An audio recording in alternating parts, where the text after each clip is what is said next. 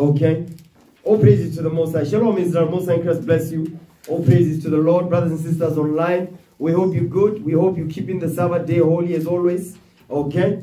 Heavenly Father, we, we pray, Father, that you guide us this day in the name of your Son, the Christ. But watch this. Let me show you something, man. Men and women.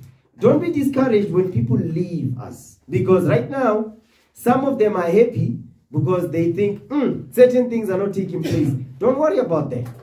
The High God is with us. You understand? The Lord is with us. Don't lose faith. People will come, people will go. Don't get too attached. Focus on the word of the Most High God of heaven and earth. Give me the book of John 6 now. John 6. Um, read verse 66. Read verse 65 actually. You know what? 64. Hmm. 63. Let's start there, man. Read John 6 63. Come on. The book of John, chapter 6, verse 63. Read. It is the spirit that quickens. It is the spirit that quickens you. The word quickens means to change. It's the spirit that forces you to change your way. To change your ways to the laws of God. That's what the spirit does. It changes you. The laws of God is supposed to change you. Read. The flesh profited nothing. The flesh will not profit you because why? The flesh, what does the flesh want? To fulfill the lust thereof. Read. The words that I speak unto you, The words that I speak unto you, come on, they are spirit they are spirit and they are life. and they are life. This is the Messiah speaking, man. He says, The words that he spoke unto us, they are spirit and they are life. Go ahead. But there, but there are some of you that believe not. Because why? In verse 63, they are required to change. That's why they don't believe. That's why I said, but there are some of you which believe not. Why they don't believe is because they don't want to be quickened. Being quickened is a process that requires you to change and apply yourself. You understand? Give me that in Sirach 32. Okay. Verse 24. Sirach 32, 24. He says, but there are some of you which don't believe, which believe not. Okay? Sirach 32, read verse 24. The book of Ecclesiasticus, chapter 32, verse 24. Read. He that believeth in the Lord taketh heed to the commandments. That's what it means to believe. So that's why it says there are some of you which believe not. He says those that don't believe is because they don't want to take heed to the commandments. Because taking heed to the commandments requires you to be quickened, requires you to be changed. You understand? Read. and he that trusted in him shall fare never the worse. You trust in him. The him is the Lord. In the same verse. You understand? Things are not going to go wrong for you when you trust in the Lord with all your heart. Go back. John 6 verse 64.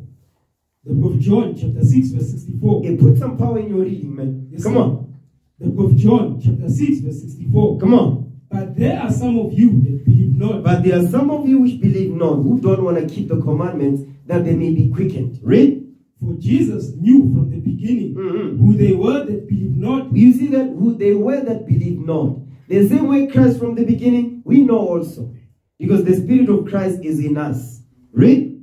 And who should betray him. and who should betray him. The same way Christ knew, listen, we also know. Read. And he said, Mhm. Therefore, say, say, therefore said I unto you, Come on. that no man can come unto me except it were given unto him of my Father. You see what he's saying? He says, Nobody can come into this truth except the Father has sent him. You understand? So, those that come and they get offended at the scriptures, they leave. Guess what? They were not of us. They were not of us. Yes, they were they, they were they looked like they were with us, but they were not with us because why? The whole time they were just being offended by everything. You understand? They were just being offended because they are those that don't believe. Okay? Read. And he said, Therefore said I unto you, that no man can come unto me except it were given unto him of my Father. Read. From that time, many of his disciples went back and walked no more with him. You see that it says from that time when they got offended by the things he said, what he taught. It says from that time, many, many, he didn't say one, many of his disciples says they went back into the world and were, walked no more with him. So it's not a new thing. It has happened before. Many, because why? They didn't want to be quickened. They didn't want to change. They didn't want to apply the scriptures. They got offended by it. You understand? So they did betrayed the Son of Man. Read. Then said Jesus unto the 12 Mhm. Will ye also will also go away? You see, he wasn't worried about those that left and went back. He asked the ones that remained, he said, Are you also going to go away? Are you going to go too? You understand? That's what he asked them. He wanted to see where their loyalty were. Their loyalty was with him, or their loyalty was in the world where the rest of the many of the disciples went back and walked no more with him. You understand? So it's not a new thing that has happened during the time of Christ, because during the time of Christ, you had many that followed him, but you also had many that left and went back into the world. Because why? They didn't believe. Why? Because they got offended. Why? Because they were betrayers. And he knew. Jump up to verse 61. The book of John, chapter 6, verse 61, Start at verse 59. Watch this. verse 59. Come on. These things said he in the synagogue. Because when he, whenever he was in the synagogue, he was teaching. That's what Christ was doing the whole time. Christ wasn't shaking and jiving, playing games. He was here to do the Father's business. So likewise, don't get distracted when people leave or when people get offended or when people get mad when the correction comes and they cannot handle the responsibility that comes with it. Don't, don't worry about that. Okay? Read. as he taught in Capernaum. You see that as he taught them the laws of God, what did they do? They got offended by it. Read. Many therefore of his disciples, when they had heard this, said, This is an hard saying. Who can hear it? Who can understand it? This is a hard saying. Who can understand what he's saying? Read. When Jesus knew in himself, Mhm. his disciples murmured at it. You see that? He says he knew within himself that they were complaining. So, because sometimes we talk to you, you understand? We say something to you. Inside you are complaining because you but because you can't say it out loud, but we can see you complaining. Me, I can see that brother be complaining on the inside, that sister be complaining on the inside, but you are you are hiding. You think we can't see? We can see it, man. We can see that you are complaining, you're murmuring, you hate the instruction, you hate whatever it is that you're supposed to do to glorify the Most High. You will hate it with a passion, but you just you just can't say it. You're gonna find another escape also and be gone.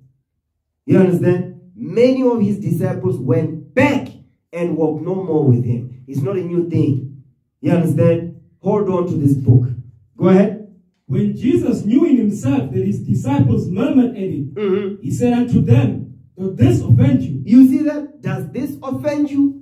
He was asking a rhetorical question because he knew. I get the murmured in the previous verse. So he knew that they got offended. That's hence the murmuring. Okay? And those are the many that left and went back into the world. But what you need to understand is that the, those that were with Christ, they was loyal, man. The 12. They, they wasn't shaken by none of that stuff. People came and left. Guess what? They remained in this truth. They didn't walk away. They didn't say to hell with you niggas. They didn't use an escape doctrine to go back to be buried in some woman's coochie. They didn't do that. They were not responding to the lust of their flesh, man. The woman's coochie didn't control their decision making. Why? Because they are about their father's business. Some smoking cigar we did not control their decision making. But guess what? With all the classes that have come out, guess what? One ear at the other. You understand? Because why? They don't believe. That's what we're reading it. They don't believe what the Bible is saying. They were with us, but they were not of us. That is what you need to understand, man. And you sisters, you must stay in the spirit. Don't be into your, don't be in your emotions about this. You stay in thus saith the Lord. Because that's how you're gonna get delivered. Don't get offended by some somebody does this and that. No, but you know, I feel so. No, no. What does the Bible say? The Bible said this, I'm rolling with this. That's it. People will come and go, but the Lord is forever. Understand that. Give me that in Timothy. Because the Apostle Paul dealt with the same thing. He dealt with the same thing. What I'm trying to show you is that this has happened before. So therefore, it's supposed to comfort you. Give me that in Romans 15, verse 4. Romans 15 and verse 4. Watch this.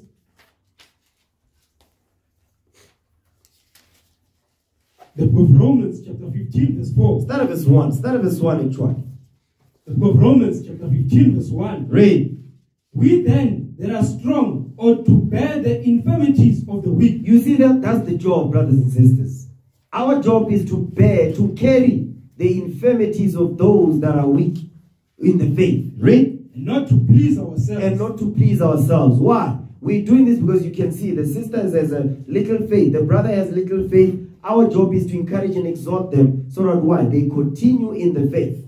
Okay? Read. Let every one of us please his neighbor for his good to edification. For his good to edification. How do we please our neighbors? We teach our neighbors the laws of God. You understand?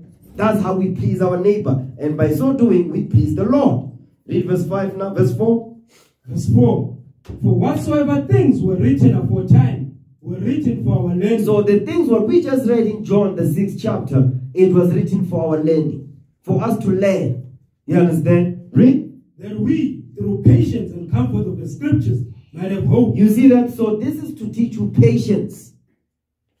The things that are happening is to teach you to be patient in this walk.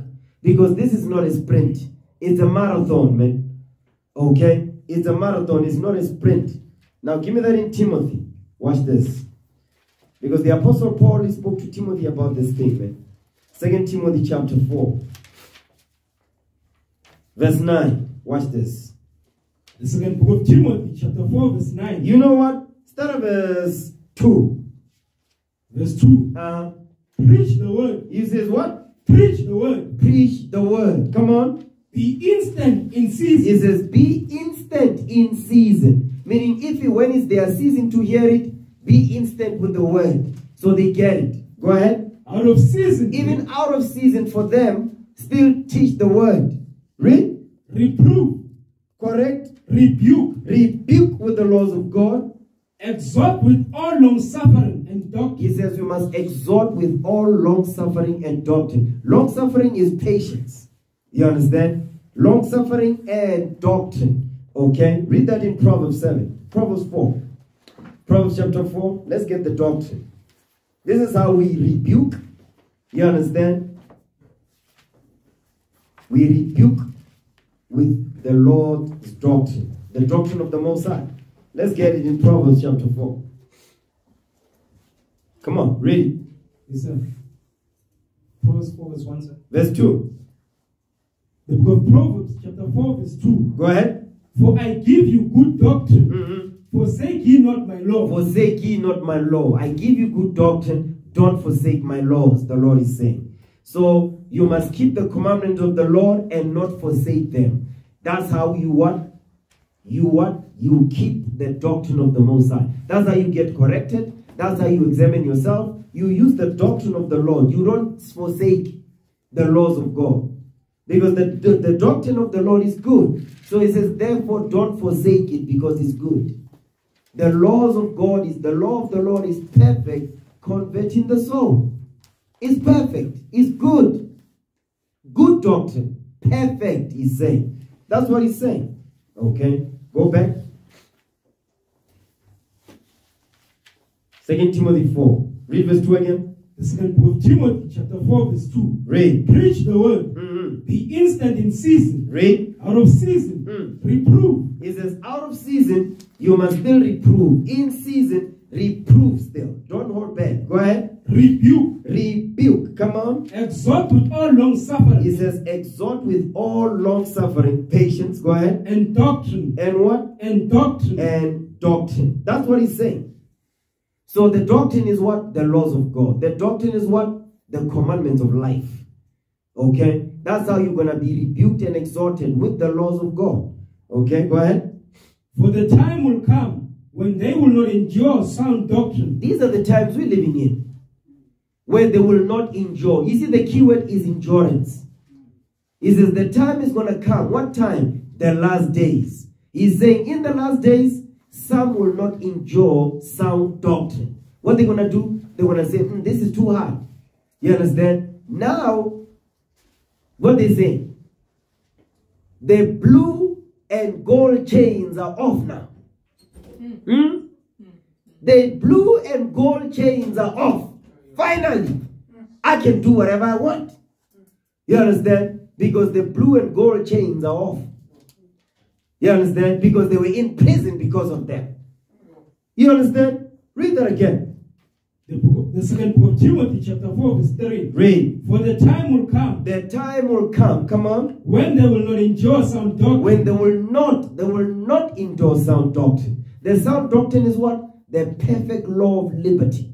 The laws of God. They're not going to endure that law. They're going to say, this is too much. I've been holding on for too long. To hell with you. To hell with this Bible. I'm going to go back. That's what they say. You see by their actions, man. Give me that in 1 Samuel 2 verse 3.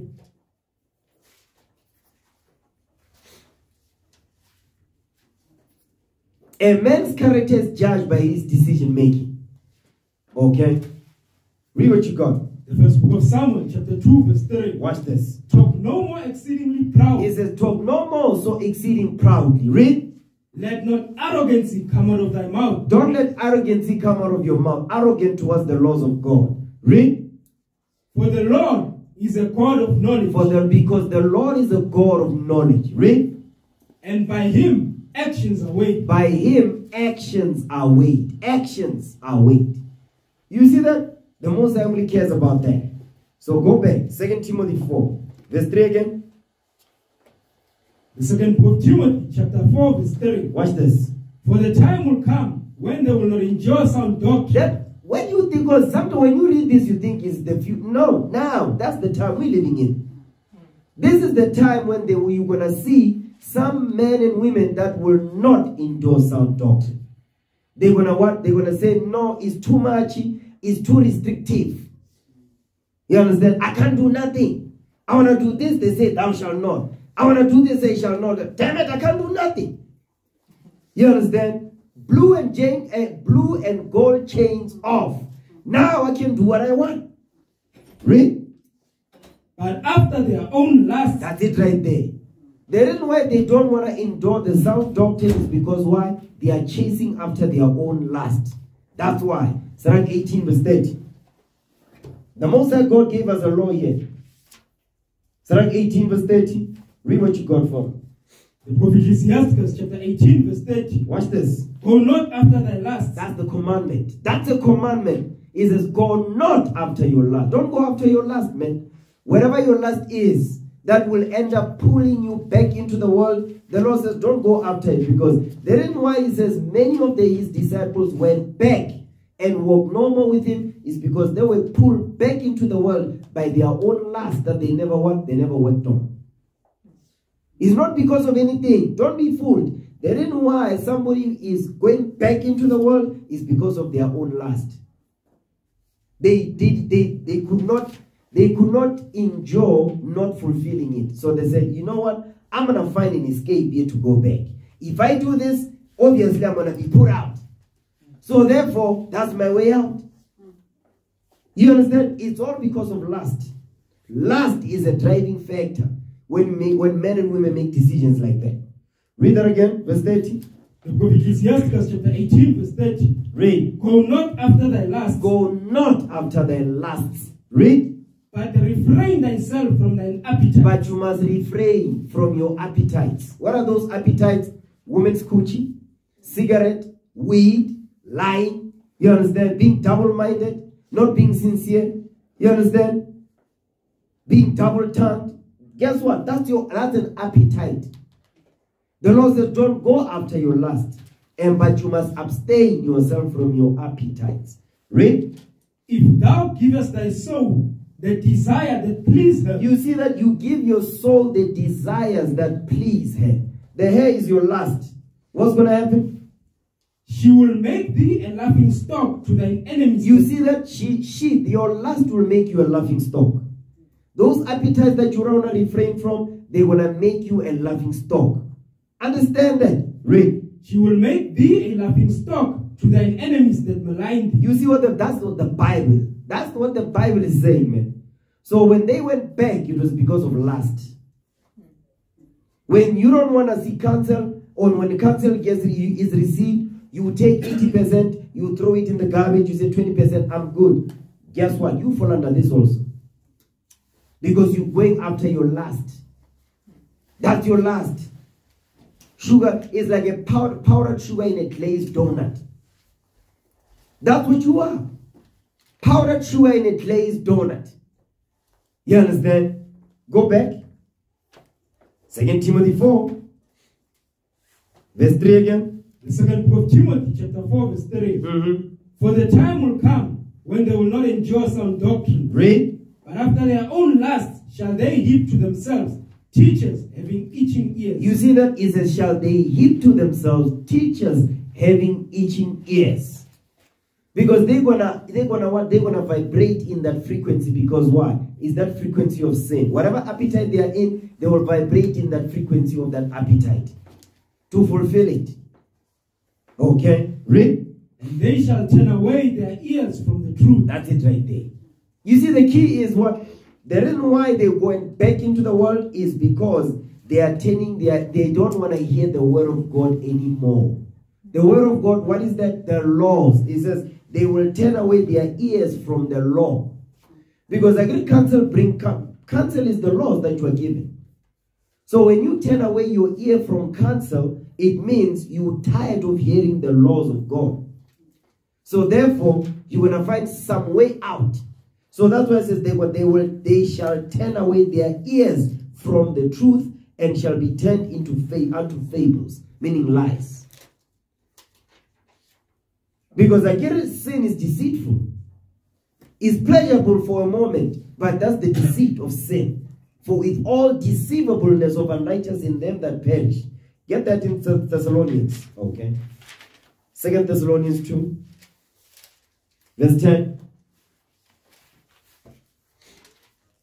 The second book of Thessalonians, chapter 2, verse 10. Read. And with all deceivableness of unrighteousness in them that perish, You see that the deceit of sin. Sin, sin is deceptive. Sin will deceive you because sin will will will will, will block your ears now from hearing the truth, and you are going to be turned unto fables. Read, and with all deceivableness of unrighteousness in them that perish, read. because they receive not the love of the truth. That is the same thing we just read, man. They will turn away their ears from hearing the truth because they don't want to receive the love of the truth. Meaning what? They don't love the truth anymore. Now they love lies. What is the lies? The pleasure that comes with sin. That's the lie. Read. That they might be saved. That they may be delivered when the Lord returns. Go ahead. And for this cause, And because of this, read. God shall send them strong delusion. The strong delusion is the lies you tell yourself. The, irrespective of how many counsels you receive, how many questions you get asked, guess what? Is you get you tell yourself lies to continue in the sin, in the lust. Okay, go ahead. That they should believe a lie. That they should believe a lie. That's why it says shall be turned unto fables. He's saying the same thing. Okay? He was writing to the church of Thessalonica. When he was writing to Timothy, he was writing to the church of Ephesus. Okay? Go back. Second Timothy 4. Read verse 4 again. The second book Timothy, chapter 4, verse 4. And they shall turn away their ears from the truth, mm-hmm. And shall be turned unto fables. They shall be turned unto fables. Because when they turn away their ears from the truth, they reject counsel. That's what it means to turn away your ears from the truth. You're rejecting the counsel of the Lord. You're rejecting the counsel, and this is what you're doing. Give me that in Zacharias. Okay.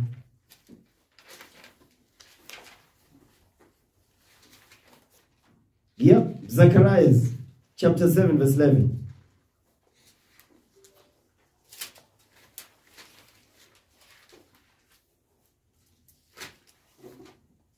Start verse 8. Watch this. The book of Zechariah, chapter 7, verse 8. Read. And the word of the Lord came unto Zechariah, saying, Mhm. Thus speaketh the Lord of hosts, saying, Execute true judgment. When we execute true judgment according to the laws of God, Israel don't like that. Okay? Read. and show mercy and compassion. And when we show mercy and compassion, they still don't like it. Because to, to them, mercy is what? I'm going to show you, because here they're going to say, but when did they show me mercy? No, we gave you counsel. It's called mercy. We give you counsel that you don't feather yourself into that black hole that you dug yourself into. That's the mercy. But the Israel's version of mercy, you know what it is? We give you license to continue in that sin and we don't correct you, we don't say nothing to you. That's mercy according to Israel. That's mercy according our people, that's how they see mercy. For them, mercy is what? We allow you to continue in the sin. That's not mercy. That's hatred.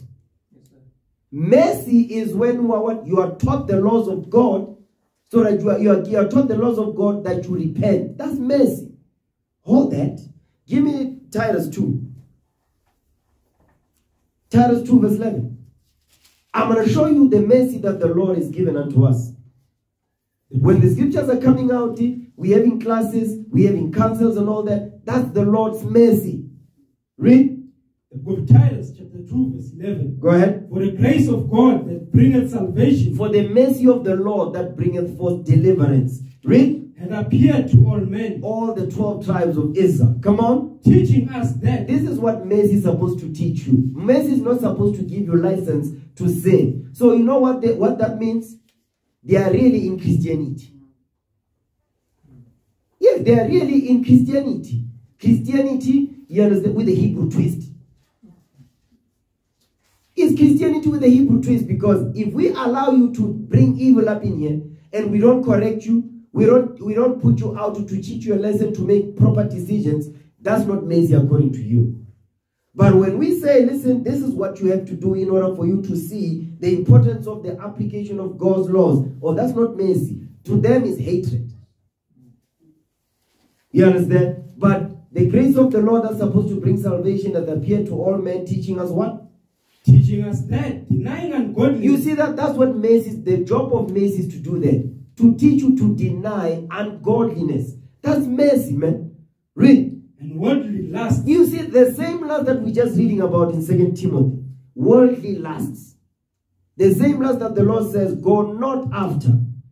Go not after your lusts, but refrain thyself from thine appetites. Read. we should live soberly That's what grace is supposed to teach you. To live, to be sober-minded. To make sound judgment and decision. Read. righteously righteously keeping the commandments of the Most High God. Luke 1 and 6, real quick. That's what mercy is about. Mercy is not us giving you license to continue in the sin. Mercy is what? Is us teaching you the laws of God so that you repent and get your mind right. That's mercy, man. Because under Moses, you were, you were put to death right then and there. So if you don't see the mercy now with this, when we read in the scriptures, that means you truly in love with that lust that you're in. Read that. the book of Luke chapter 1 verse 6 Come on. and they were both righteous before God They were both righteous before God. Read. Walking in all the commandments and ordinances of the Lord blameless That's what we're supposed to. That's what grace is supposed to teach you. To walk in all the commandments of the Lord and ordinances blameless. Go back. Titus 2 verse 12 again. the book of Titus chapter 2 verse 12 Read. teaching us that denying ungodliness Denying ungodliness. That's what grace is supposed to teach you. To deny ungodliness. Read. and worldly lust The worldly lust is the lust of the flesh, the lust of the eyes, and the pride of life. You understand? We choke the word and it becometh unfruitful. Read. we should live soberly Uh-huh. righteously Go ahead. and godly in this present world You see that righteously and godly in this present world. But in this present world, in this time, some will depart from the faith, giving heed to what? Seducing spirits and doctrine of devils. That's what's going to happen, man. We went over this many times. Guess what? It's happening. You know how many times we brought up, the, the, the, the class was brought up to say, listen, man, you men, make sure you find yourself, you are wandering around, you are busy, you are idle. Next thing you think about an ex-girlfriend. This is where, these are classes that happened months ago. But guess what's happening now? You understand? Now go back, Zechariah 7. Read verse 9 again. the book of Zechariah chapter 7 verse 9 Read. thus speaketh the Lord of hosts Read. saying Mhm. execute true judgment According to the laws of God. Read. and show mercy and compassion, every man to his brother. You see that mercy and compassion is what? Is what we read in Titus 2, verse 11 and 12. The mercy of the Lord. Read. And oppress not the widow, Don't oppress the widow. Read. nor the fatherless, Nor the fatherless. Come on. the stranger, Mhm. nor the poor. Go ahead. And let none of you imagine evil against his brother in your heart. That's what the Bible is saying, man. That's how we show mercy and compassion. Next verse. But watch this. Read. But they refuse to hearken. But they refused to hearken. How do they? How do you refuse to hearken? You just choose not to follow the counsel. That's how you refuse to hearken. Meaning what? To hell with the mercy and the compassion in verse 9. Read. But they refused to hearken Uh-huh. and pulled away their shoulders. You see that they pulled away their shoulder like this. That's what Israel does, man, in the spirit. You touch them, don't touch me. That's that's how they that's what they are in the spirit. They don't want to do nothing, man. And when you show them pride, this is what the Bible says. Are you going to apply this? They say yes, but they know they are lying through their teeth. They look you straight, dead straight in the eye. They say, Yes, sir, I know what I'm doing. Read. But they refused to hearken They refuse to hearken. and pulled away their shoulder. They shoulder pulled away their shoulder. Read. And stopped their ears. You see that they stop their ears. That's why it says they will, they will, they will turn away their ears from the truth and shall be turned unto fables. Read. that they should not hear. Not they should not hear what? The law. Because the problem is the laws of God. It was a problem back then when we came out of Egypt. It's a problem today in spiritual Egypt. Read. Yea, they made their hearts as an adamant stone. They made their mind as an adamant stone, meaning rebellious, thick-headed, hard-hearted, you understand, and stubborn. Read. lest they should hear the law Use that's the key. They they think they can hear everything else. They think they don't want to hear is the law. Don't come with that Bible, man. That's why when we at camp, we teach about Deuteronomy 28. Everybody be gathering around us. The minute you read, the reason why, what must we do to come out of these conditions? People leave one by one. You know why? Because they don't want to hear the law. Because as a people, we hate law, we hate order, we hate structure. So now, the minute we hear the law, that means, Surari, the sin that I was involved in and indulging myself in, that means I must stop that thing now. I must not do that anymore. I must repent. They say, no, I don't want to hear it so I don't have to be responsible to not to do, to do it. Mm-hmm. So I'd rather leave. That's why, that's why they leave. Because that means that if I sit here and hear it, I now have to be responsible now. I have to stop breaking that law that I used to break because that says the law. But the minute you walk away, you say, if I don't hear it, I don't have to do it. That's the point. If I don't have to listen to it, that means I don't have to hear it, therefore I'm not responsible for it. Therefore, I can continue like I don't know nothing about this. That's why it's done that way. Go ahead. Yea, they made their hearts as an adamant stone, lest they should hear the law, and the words which the Lord of hosts had sent his spirit by the by the former prophet. You see that they don't want to hear their the reason why they don't want to see the prophets is because they know the real prophets of the Lord come with the law. So that's why it says what they don't want to hear the prophet, the spirit of the prophets that was sent in the former times. They don't want to hear that. So that's why they are okay going to the Christian church is fine. That's why they're okay to go back into the world because why? They don't want to have, they don't have to hear the law. Every Sabbath, oh my God, it's always the same thing. Love your neighbor as yourself. You understand? Give me that bottle of water, please. Every Sabbath, they keep reading, Thou shalt not hate your brother in your heart. Every Sabbath. They be doing the same thing over and over. I'm tired of hearing that. You understand? Thank you, please. You understand what I'm saying? I'm tired of hearing that. That's really what they're saying. You understand? That's really what they're saying, man. Okay, that's what they're saying. we tired of hearing that Bible. Every Sabbath, but they're always, they cannot teach something else. They're always teaching love your neighbor as yourself. They're always teaching the royal law, the royal law. They are always speaking about this royal law. I hate the royal law. We want to hear some deep stuff. No, I'm going to stay right here. The royal law. Love thy neighbor as thyself. You understand? Class, don't be a liar. Guess what? The Negro, no, to hell with that class. Thou shalt not commit adultery. What? To hell with that class. I don't care about that. You see my point?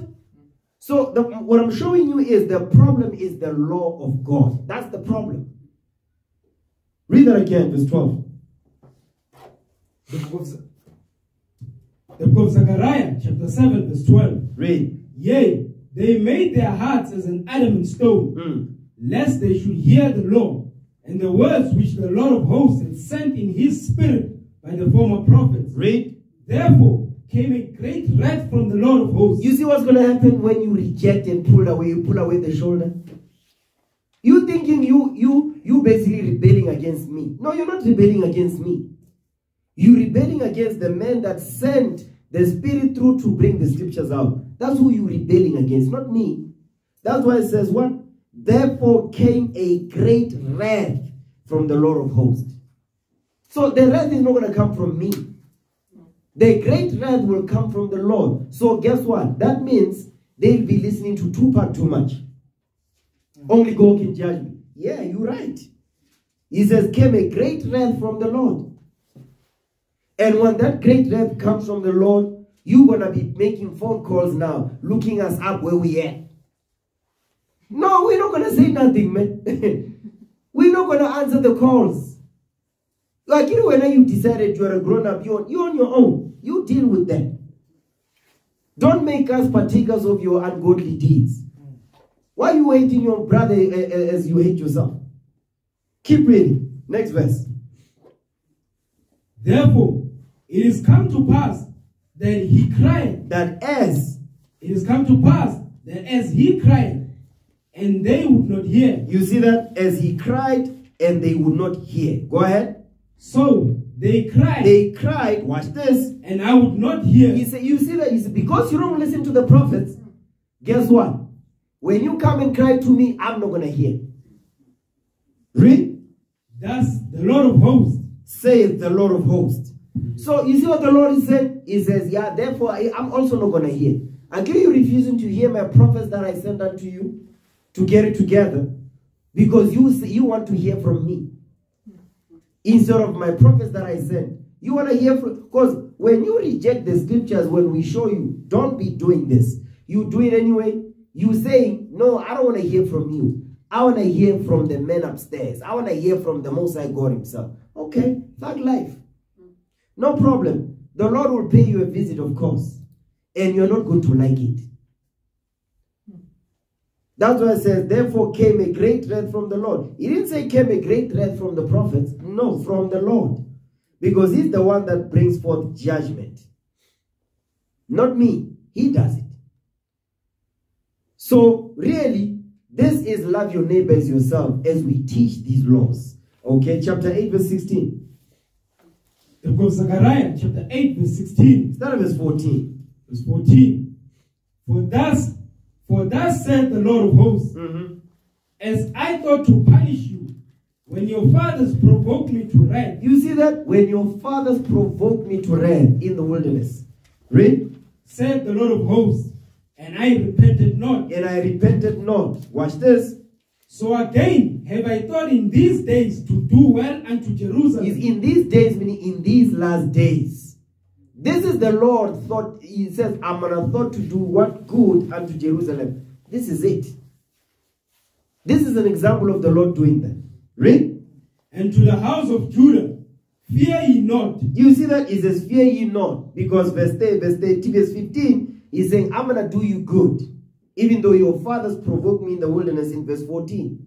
Watch this. these are the things that ye shall do. He says, These are the things that you must do so that what I don't bring forth that great wrath in chapter 7. Read. Speak ye, every man, every man the truth to his neighbor. Meaning the law. Teach the royal law, man. Teach the royal law. Read. Execute the judgment of truth and peace in your gates. You see what he's saying? Go ahead. And let none of you imagine evil in your hearts against his neighbor. You see, he says, don't imagine evil in your heart against your neighbor. Watch this. And love no false oath. Mm. For all these, for all these are things that I hate, He says, I hate these things, the Lord is saying. Go ahead. said the Lord. Said the Lord. He says, I hate these things, man. But Israel still don't listen. They say you are glutton for punishment. That's Israel. That's our people, man. Even those that are quote unquote, they were among us and all that. Guess what? One ear out the other. Because the thing is, I don't want to hear what the Bible has to say. We're good. Even those that are with us, guess what? When you correct it, because when you go to the streets, we only good until you bring the law. You, the same thing that you see in the street when we teach is the same thing that happens up in here.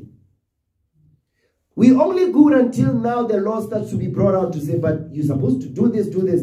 Then all of a sudden, they, guess what? The offender stays. It jumps up. It jumps up on you.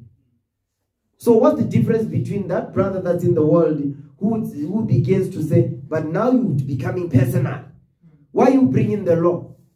Now we're going to fight. I don't like you no more because you bring in the law. Galatians 4.16.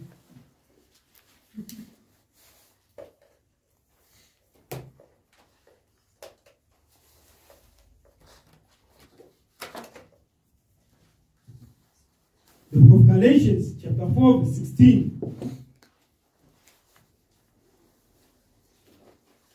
Come on. Am I therefore become your enemy because I tell you the truth? You see that? So now, now your brother is your enemy now because he, told, he tells you the truth. The hell is this? You now you become a, an enemy to your sister because she tells you the truth. Are you crazy? But that's Israel. Within and without. You would think we're in here, you because we know better, we're supposed to take the correction and say, but you know it's written. But no, it's not the same. It's still the what you're still on nigger mode. You're still a dark. You have not repented yet. So now you become an enemy to your brother because he tells you the truth. What is the truth? The law. Because he teaches you the law. Psalms 119 verse 142. Am I therefore become your enemy because I tell you the truth? What's the truth? Let's get it. Let's get what the truth is. Okay? The book of Psalms, chapter 119, verse 142. Read. Thy righteousness is an everlasting righteousness, Come on. and thy law is the truth. And thy law is the truth. So the truth is the laws of God. God's commandments is the truth. So now it says, Am I therefore become your enemy? Because I tell you the law.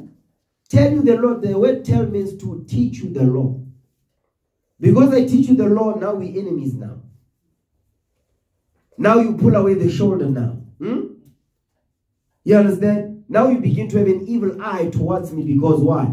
Are you got corrected? But that's mercy. But you don't see like that because you are in your feelings. You're not going to see the Lord's mercy when the correction comes, whether you tap into your feelings.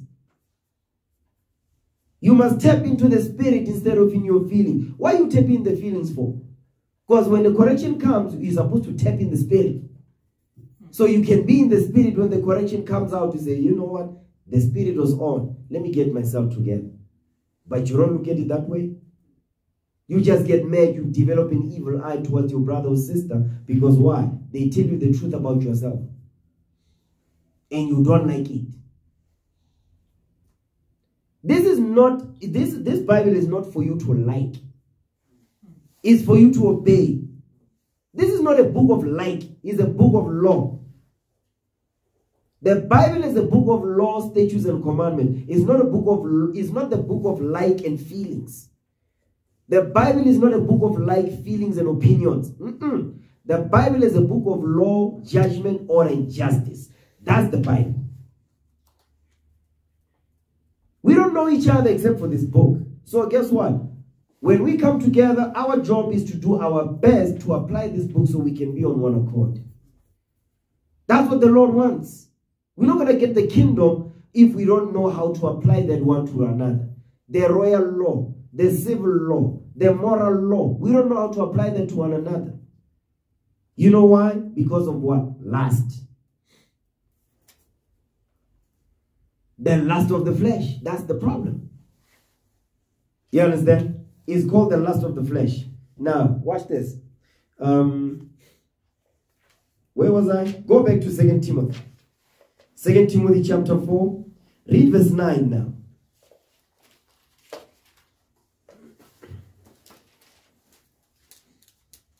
Actually, you know what? Read verse 5. 2 Timothy 4, verse 5. I want you to see this thing, man. The second book of Timothy, chapter 4, verse 5. Come on. But watch thou in all things, Mhm. endure afflictions, You see, that's a commandment. He says, endure affliction. Endure the pain that you're going to go through in this truth. You must enjoy it. He's not saying run away. He says endure. Read. do the work of an evangelist, He says, do the work of an evangelist. Okay, evangelize. Go out there, teach the gospel, man. Read. make full proof of thy ministry, Meaning, study to show thyself approved of the Lord. Make full proof of your ministry. What does that mean? You must be rooted in this book no matter what. Brother sister says, Me, I'm done, I'm going back. We said, To hell with you. We going, we gonna continue. Because this is not a game. This is a matter of life and death. We want the kingdom. When you go back into the world, you say, No, I want to return back to the matrix. I want to be a slave again. I want to be a slave to the nations. I want to be a slave to my sins and my lusts. That's what you say. Okay? Jump down to verse 9. verse 9. Mhm. Do thy diligence to come shortly unto me. He says, Do your diligence to come shortly unto me. Diligence in this book. Watch this. Go ahead. For Demas had forsaken me, Now, this is the people, this is these are the men that walked with the apostle Paul. What is because we read in John 6 that many of the disciples they left Christ and went back into the world. The apostle Paul experienced the same thing, man. Read that again, verse 10. for Demas had forsaken me, Demas was Paul's disciple. He forsook Paul. Where did he go? Back into the world. Read. Having loved this present world, You see that? He loved this present world. Guess what? Remember what we read in Titus 2? Go back to Titus 2, read verse 12. What we must do. What is the purpose of this grace that is being given unto us? You understand? the book of Titus, chapter 2, verse 12. Read. teaching us that, denying ungodliness and worldly lusts, we should live soberly, righteously, and godly in this present world. That means Demas did not want to live soberly in this present world. He didn't want to what? He didn't want to live a godly life. He didn't want to live a righteous life in that present world that he lived in, which is this present world that we're living in now. So Demas went back into the world to what? To go outside of the realm of grace. Because grace is supposed to teach you to deny these things. But Demas, on the other hand, he said, No, I don't want that grace period. I want to go back into the world to fulfill his lusts. That's what he said. Because remember, he they says we must live soberly, godly, righteously in this present world. Demas, he said, No, I want to live ungodly. I don't want to deny ungodliness. I don't want to deny um, unrighteousness. No, I want to indulge in it. That's why I'm going back. That's why some of you, you contemplating it. Some of you are thinking about it to say, you know what, I'm going to leave, but I'm still going to be in the truth. Because I'll just watch videos online. I'll sit in my house and watch videos online because I don't want to be mixing with them niggas over there. Some of you are contemplating it right now. You're thinking about it. To say, you know what?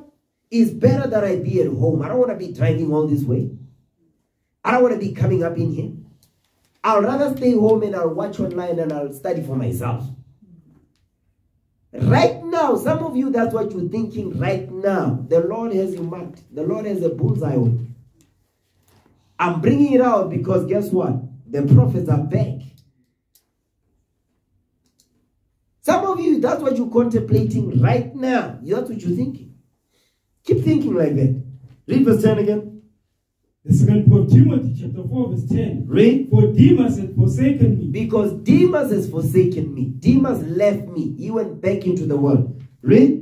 having loved this present world, Because when you love this present world, you go back again. You're going to enjoy yourself. But you're going to deceive yourself and tell yourself these lies to say, no, uh, uh, you know what? I have my Bible, I have my Apocrypha. I learned what I, I, I- I needed to learn. I'll just watch online. I'll observe the Sabbath with my house. I will observe the Sabbath with my wife and my husband. I'm going to observe the Sabbath with my family. I'll be good.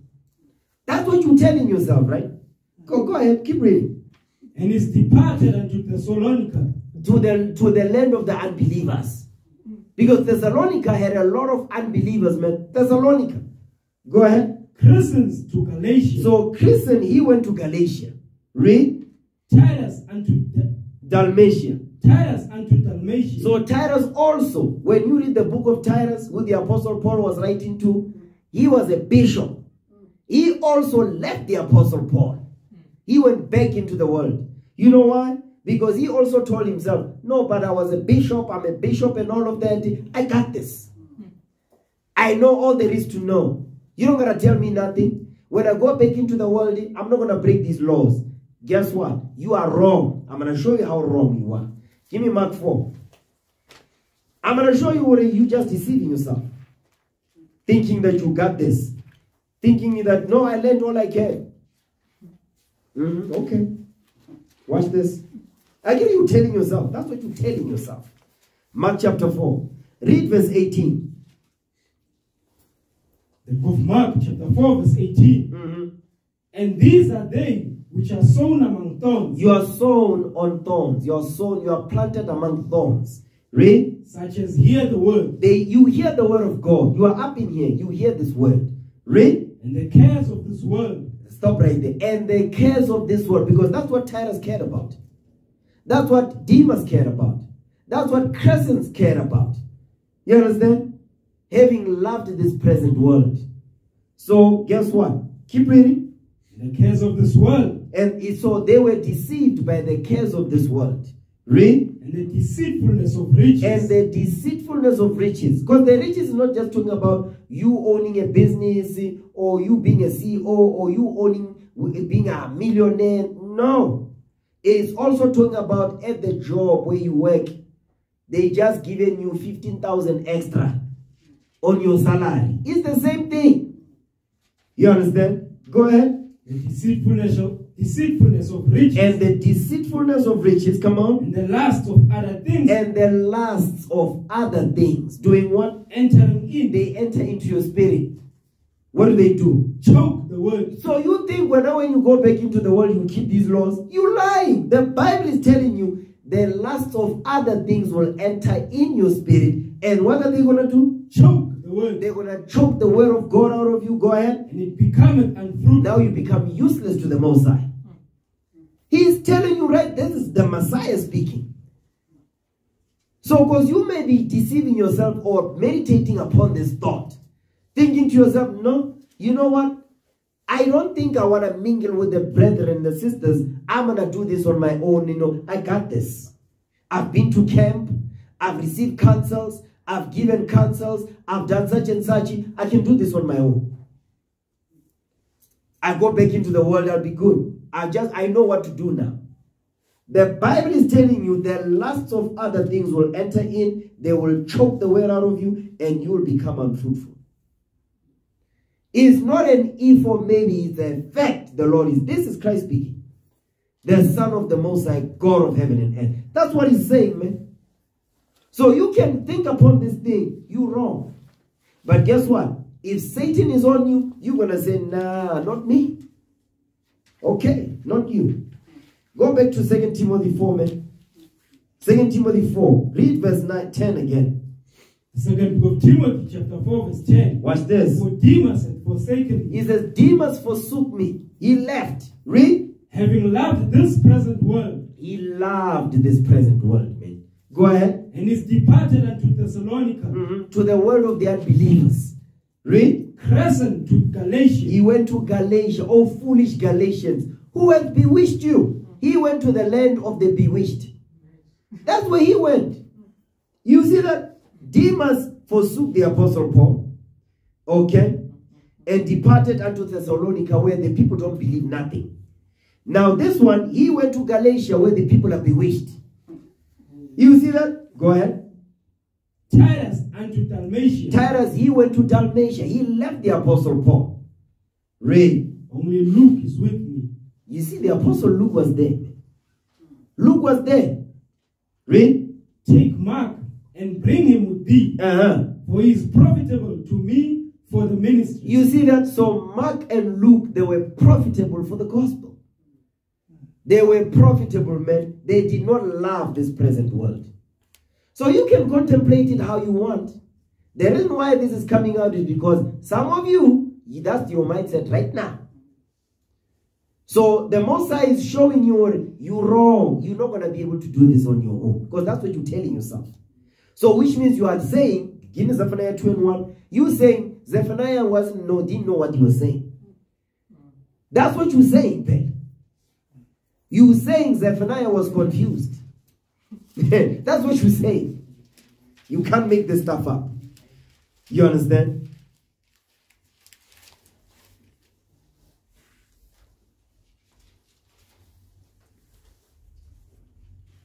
The book of Zephaniah, chapter 2, verse 1. Gather yourselves together. You see that it says, gather yourself together. That's the that's the command, that's the law. You do understand that, right? This is a commandment. It says, gather yourself together. The Messiah is not asking, He's commanding us, gather yourselves together. Read. Yea, gather together, O nation of desire. Because the nations that are around about us, they don't desire us. Therefore, they're going to create an environment for sin to thrive so that the lusts of other things will enter into your spirit. Read. Before the decree bring forth, Before the Lord returns. Read. Before the day pass as the shaft, Mm. before the fierce anger of the Lord come upon you. So that means whenever you don't want to do that, you say, I want to face the fierce anger of the Lord. That's what you say. Only God can judge me. Read on. Before the day of the Lord's anger come upon you. Use before the day of the Lord's anger come upon you. The Lord is saying, gather yourself together. Go back to 2 Timothy 4. 2 Timothy chapter 4, um, verse 12.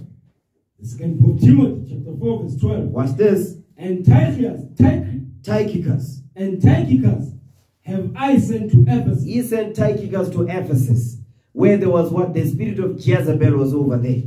Read. The cloak that I left at Troas, Troas.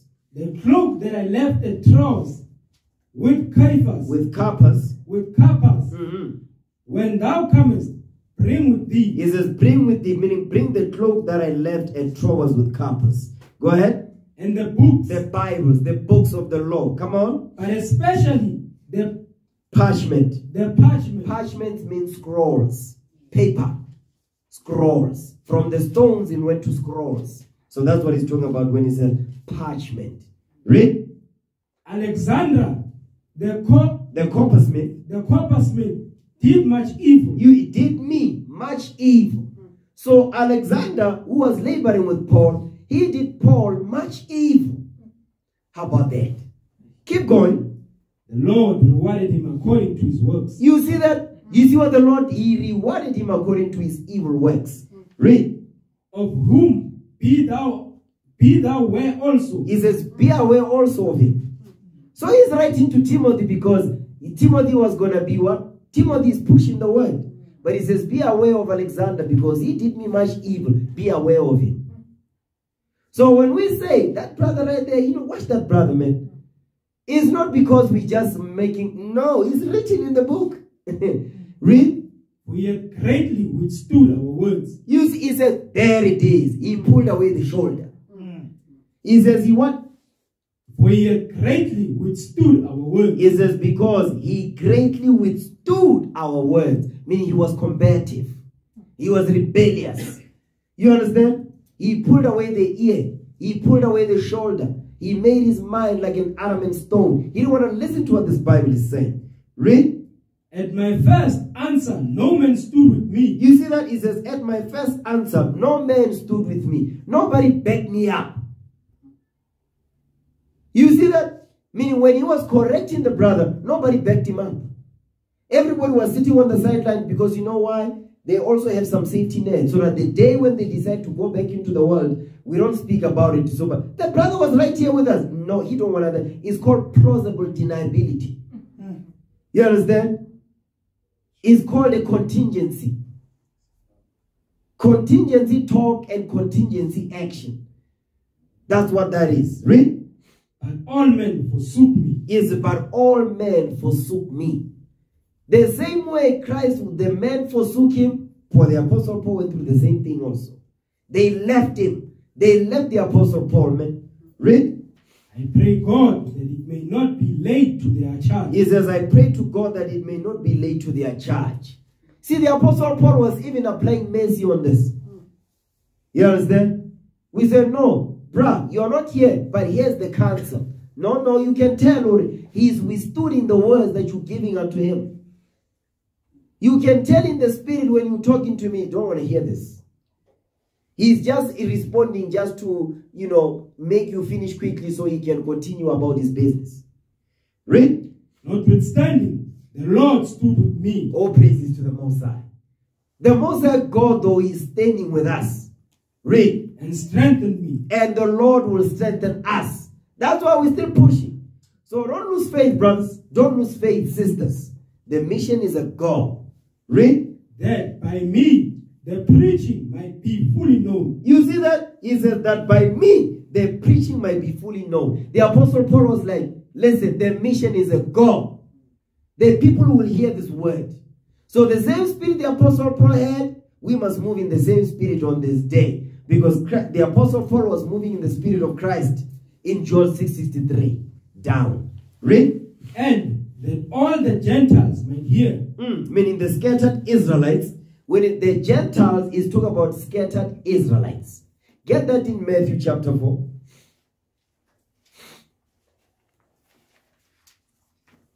Because I know there's some Christian online who's saying, yeah, no, he's not talking about scattered Israelites. The Gentile is talking about everybody. Let's get the Bible.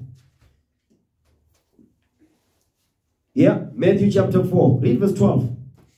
The book of Matthew chapter 4 verse 12. Come on. Now when Jesus had heard that John was cast into prison, Mhm. he departed into Galilee. Galilee is northern kingdom of Israel. That's Galilee. Come on. and leaving Nazareth, Mm. he came and dwelt in Capernaum, Read. Which is upon the sea coast, Read. in the borders of Zebulun Zebulon is one of the tribes of Jacob, one of the sons of Jacob. Israelites. Read. and Naphtali, And Naphtali. Naphtali is one of the sons of Jacob. Go ahead. that it may be fulfilled which was spoken by Isaiah the prophet, That it may be fulfilled. That was spoken of by Isaiah. Read. Saying, Mm. Land of Zebulun, The land of Zebulon. Because in the land of Zebulon, who was staying there? The children of Israel from the tribe of Zebulon. Read. and the land of Naphtali, The children of Israel, the children of Israel from the tribe of Naphtali. Read. by the way of the sea, By the way of the sea. Come on. beyond Jordan, Mhm. Galilee of the Gentiles. Galilee of the Gentiles. So the Gentiles, here the Apostle Paul is talking about, he's not talking about the other nations. He's talking about the scattered Israelites. John 7 verse 35. John 7 35. Let's get there because I know there's some doubting Thomas is online. Right now. John 7 35. Excuse me. We are reading John 7 verse 35. The book of John, chapter 7, verse 35. Read. Then said the Jews among themselves, Then said the Jews among themselves. Hold that, Jeremiah 14, verse 2. Let's see what the Jews look like. What color is the Jews? Then said the Jews among themselves. Let's see if it's those white people in our land today calling themselves Jewish. Let's see if it's that's them. Read them. the book of Jeremiah, chapter 14, verse 2. Mm-hmm. Judah mourned, in the case thereof language. The Jews are mourning. Read. They are black. They are what? They are black. They are what? They are black. The Jews are black. Go ahead. unto the ground. just like Adam. Now go back. John 7 35. Let's get it. The book of John, chapter 7, verse 35. Come on. Then said the Jews among themselves. Then said the what? Then said the Jews among themselves. Then said the Jews among themselves, meaning the black people. Not those white bastards in our land today calling themselves Jewish. Yeah, I said bastards, it's not because I have an attitude, so that's what God says. Zechariah 9 and 6, real quick.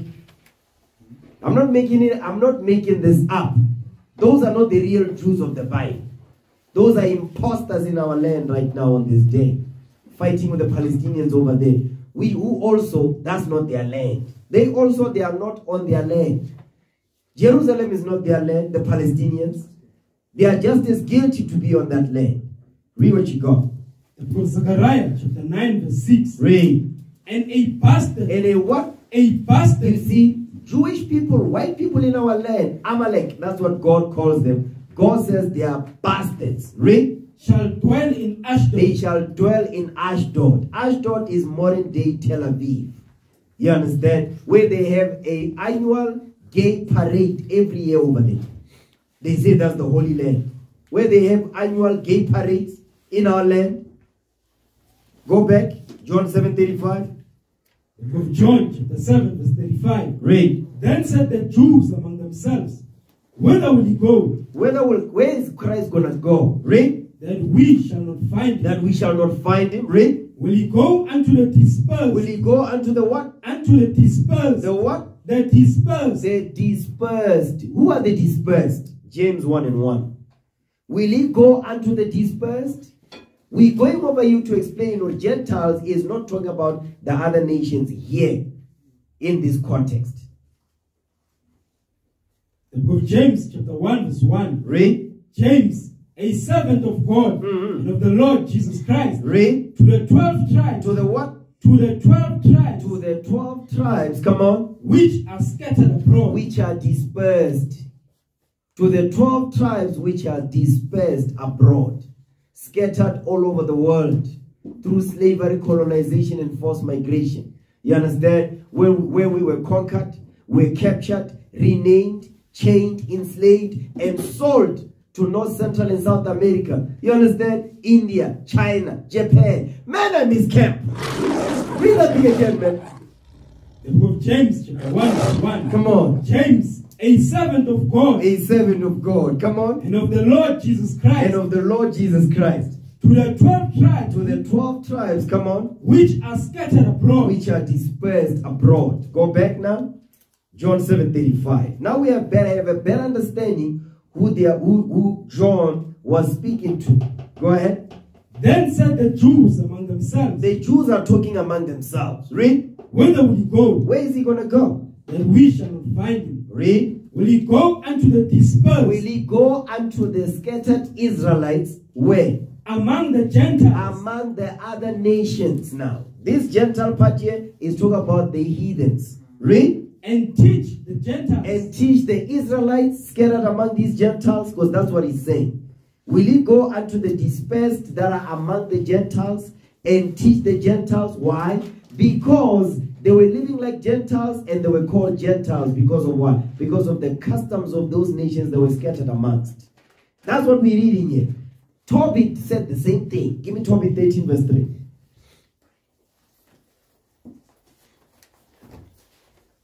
Tobit 13, verse 3. Watch this.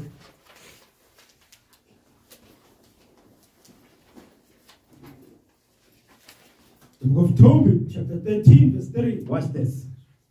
Confess him before the Gentiles, You see that it says, confess him before the Gentiles. Read. ye children of Israel. You children of Israel. Is we just read it. Read. For he had scattered us among them. For he had scattered us among these Gentiles. That's why now we call Gentiles. Read verse 5 now. Watch this. Verse 5. Mhm. And he will and he will scourge us. He will scourge us and he will scourge us for iniquity. for our sins. Read. And will have mercy again. And the Lord will have mercy again. This is the mercy of the Lord right now. Read. And will gather us out of all nations. He will gather us out of all nations, meaning the Gentiles in verse 3. Read. among whom he had scattered us. among whom he had dispersed us. That's what we just read in John 7. Now, go back now.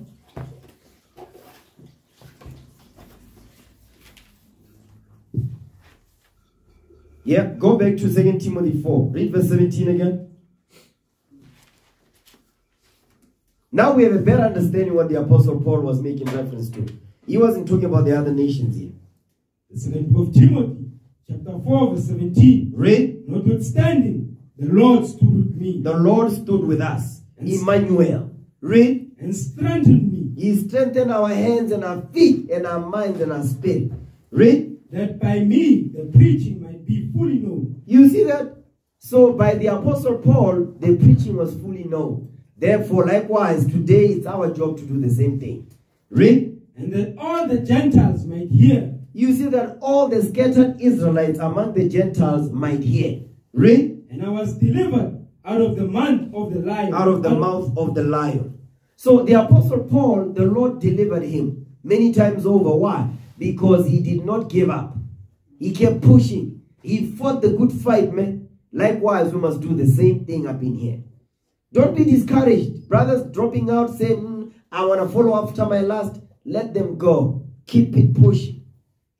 You understand? This is a battle. This is a war. We must fight. That's what the Lord wants us to do. You understand?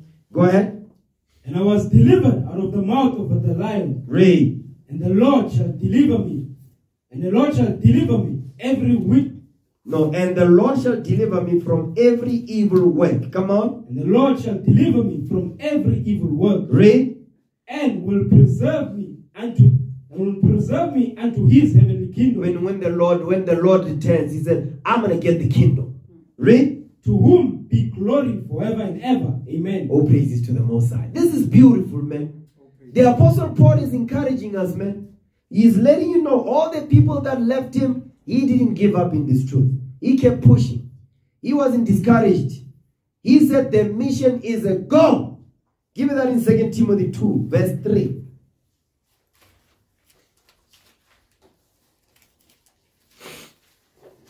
The second book You know what? Start, start at verse 2, man. Start of verse 2. Start of verse 1. Start of verse 1.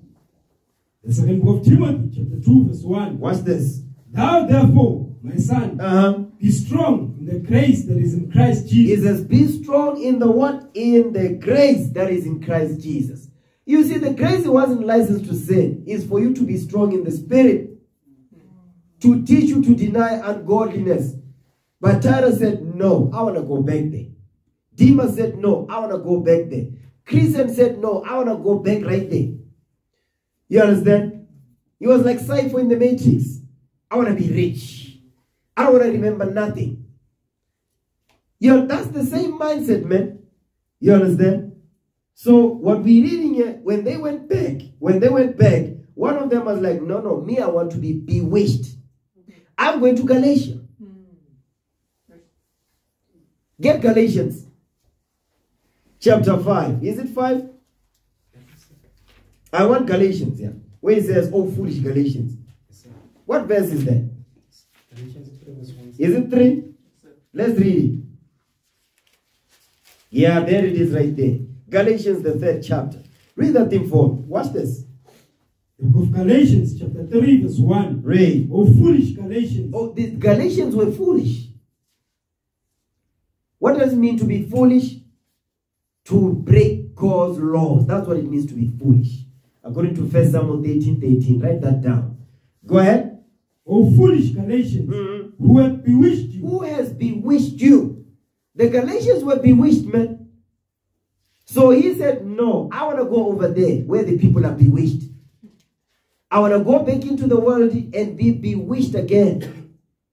Read. that ye should not obey the truth, You see what happens when you get bewitched?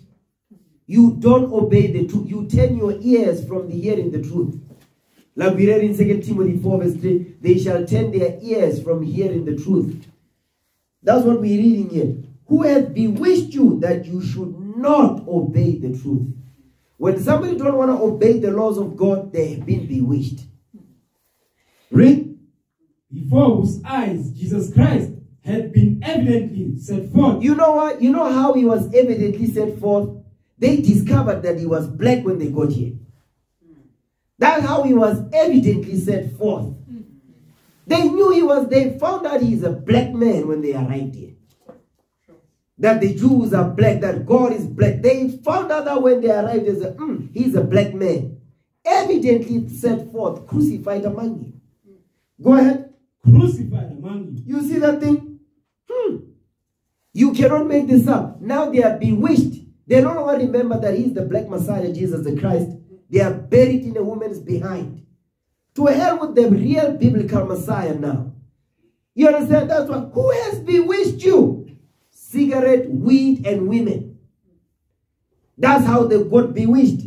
Because why? Christ was evidently set forth before them. They said, No, we don't want to hear that no.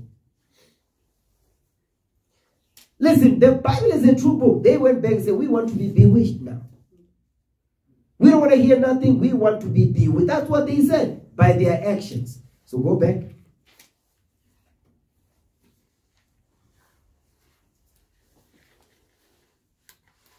Second Timothy 2, verse 1.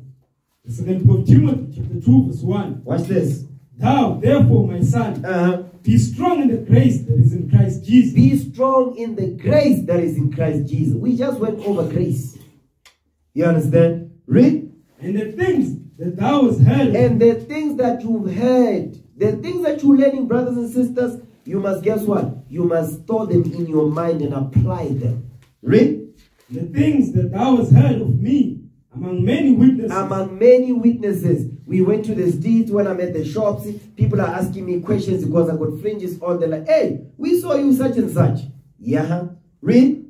the same commit thou to faithful men. You see, these things that you learn, they are supposed to be committed to faithful men and women. The unfaithful ones, these things must not be committed unto them because they're not going to do nothing with it. They're not going to wake up or raise up their nation with it. They're going to sit on their behind. The Bible is telling you, says, what? Is the same commit thou to faithful men. So that means unfaithful men and women, these things must not be committed unto them because they will not be profitable to the doctrine. They will not be profitable to their nation. They what the, the, the lust of other things will choke the word and they will become unfruitful because they are here, but they wish they could be somewhere else right now. Read. who shall be able to teach others also. Do you see that? Because faithful men will teach these to others also, but the unfaithful ones will not do it. Go ahead. Thou, therefore, He says, out of all this, therefore, you therefore, Timothy, go ahead, with your hardness, endure. He is telling you, you must endure, meaning you must be stay in the spirit, be faithful, so that you may be able to teach the things that you've heard among many witnesses. Commit the same to faithful men. Then, by so doing, you must endure because it's gonna get hard. That's what he's telling you. There, therefore, endure hardness. He didn't say softness. No, hardness. Go ahead. as a good soldier of Jesus Christ. That's why we named the camp likewise. Okay. To endure hardness as a good soldier of Jesus Christ. Read. No man that warreth Because remember, men and women, you are at war. It's a spiritual battle. Every day you're fighting demons up in your spirit. To get rid of them, you slay them with the word of God. That's why you study. That's why you fast. That's why you pray. Because whenever you see something that you know is bad for your spirit, pull out the sword and slay the demon. That's the job. Your quiver must always be full to quench the fiery darts of the wicked. Your quiver must always be full, man. Read. no man that warreth entangleth himself with the affairs of this life. You see, when he says entangled himself with the affairs of this life, they went back and walked no more with him. Because they wanted to entangle themselves with the affairs of this life. You know what the affairs of this life is? The lust of the flesh, the lust of the eyes, the pride of life, which is not of the Father, but is of Satan. Read. That he may please him. that he because you forget because once that lust is taken over you have now forgotten who you are here to please the lord because he's the one that called you here so now you forget that the lord called you here for you to do a job now because the coochie that coochie juice you can't resist guess what You say, to hell with the Most High God, I'm going to drink the coochie juice instead. I love it. You see what I'm saying? To hell with the scriptures, to hell with the, what the Most High God is saying. You understand? Read that again. Verse 4. The second book of Timothy, chapter 2, verse 4. Read. No man that warreth No man that warreth, entangleth himself with the affairs of this life, you don't get yourself involved with the affairs of this life, man. Read. that he may please him That you may please him. Come on. who had chosen him to be a soldier. The Lord chose you here to be a soldier, so you will soldier on. You understand? That's why the Lord called you here, man. To soldier on. Don't give up because it's hard. Nobody told you this was going to be easy, man. This is not the Christian church when you come up in here, be shaking and jiving, rolling on the floor, foaming at the mouth. No, that's not the place for it. You are here to learn the word of God and be an example to others also. They may come in by your example, both men and women. That is the job for every man. You understand? Go ahead. And if a man also strive for min, for, Masteries, masteries. And if a man also strive for masteries, mm-hmm.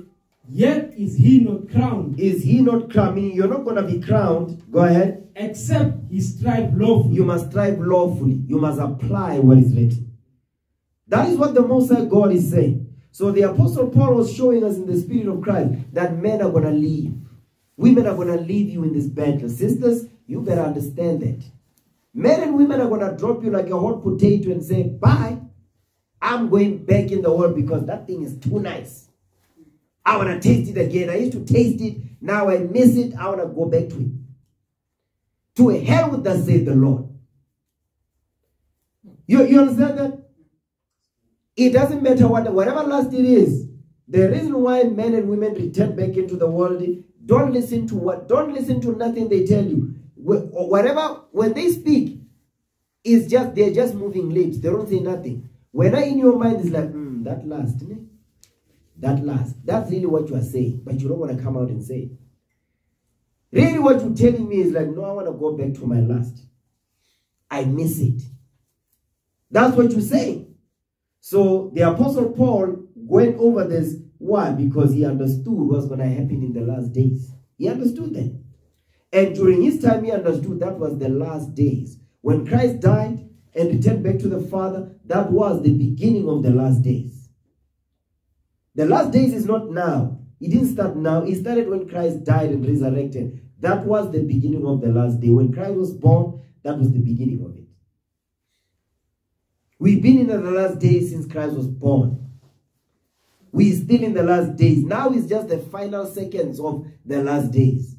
Couple of hours left until the big boom. And then it's time to go home. So the most important thing for us, the sure foundation is what? Keep the commandments of the Most High God. You understand? First Peter 2 verse 2. This is what we must hold on to.